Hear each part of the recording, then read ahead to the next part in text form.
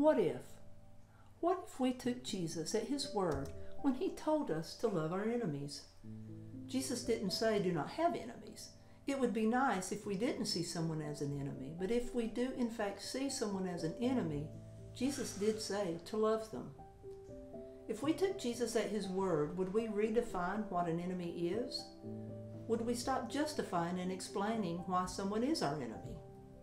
Would we perhaps grasp that what we hate in our enemy is a projection of what we hate in ourselves?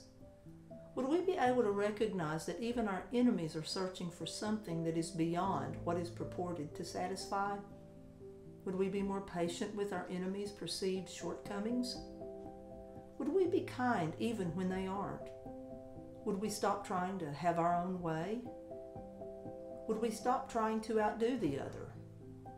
Would we be less jealous of what our enemy has? Would we be less smug when something bad happens to them? Would we be less irritable and more polite with them? According to St. Paul, this is love.